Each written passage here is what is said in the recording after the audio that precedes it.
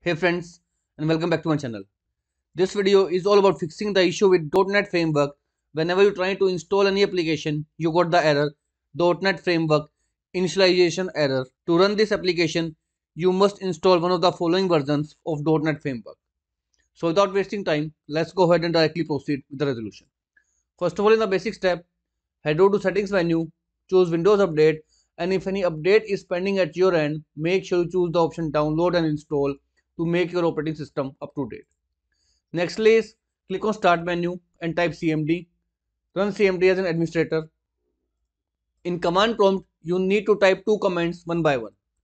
First one is sfc space slash scan now and then hit the enter key. Now wait for this command to finish scanning and fixing the corrupted files of the system.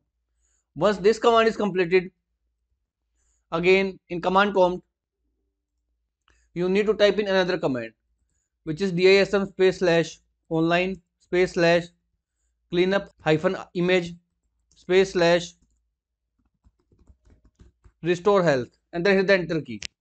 Make sure you perform both the commands one by one and do not perform simultaneously as I am doing right over here. I did this just to teach you how to use these commands.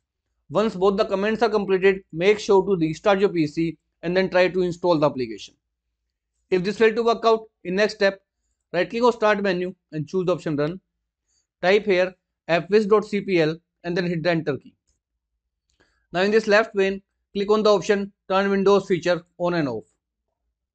Now over here, expand 3.5 as well as 4.8. Make sure you check back each and every option available under 3.5 as well as under 4.8. Once you check mark all the options under 4.8 and 3.5, go ahead and hit the OK button. This will go ahead and install .NET Framework and in turns help you fix out the issue of .NET Framework initialization error. If this method also failed to work out, let's proceed with the third step. Open up your browser and in the address bar, you need to paste a link which I will share you in the description of this video. Once pasted, hit the enter key. Now scroll down and click on the option download to download .NET Framework Repair Tool. Save it into your system and once it is saved, go ahead and launch it. It will automatically help you fix out the issue with .NET Framework. Just simply proceed with the on-screen instructions and hit the next button to finishing repairing the .NET Framework installation files for you. Once it is done, your problem of .NET Framework will be fixed out by now. However, if all the method fails, the last hope you have is to again open up your browser and you need to download this particular KB update. You need to download this KB update for your PC. This link is for 64 base system and the last link is for the 32 bit systems. Go ahead and depending upon the type of system you have, just download it into your system. Save it into your PC and once it is saved, go ahead and run it this will install in your system. Once the update is installed, you need to open this official website of .NET Framework.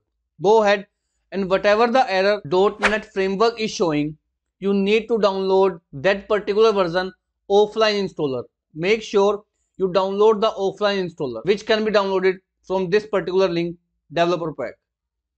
Scroll down and here are the other versions available for .NET Framework. So make sure you download only the offline installer. The current offline installer is for 4.8. Click on the developer pack,